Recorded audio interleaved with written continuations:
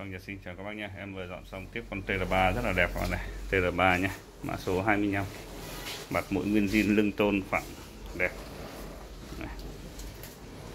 Đây, Lưng tôn con này khá phẳng luôn. Đời 2010 TR3 mặt mũi meca trong Bảng điều khiển đầy đủ chức năng ok ngon lành hết. Nội thất sạch sẽ nước nóng bỏng. Dạ. TR3 con này em bán 3 triệu các bác nhá, bảo hành một năm chưa phí vận chuyển, chưa biến áp, ship hàng toàn quốc. Các bác có nhu cầu các bác alo, phí vận chuyển đến toàn quốc là 150 nghìn ạ, biến áp là 500 hình thức mua bán đặt cọc trước 500 nhận hàng kiểm tra đúng hàng thanh toán nốt cho bên giao hàng chào các bác.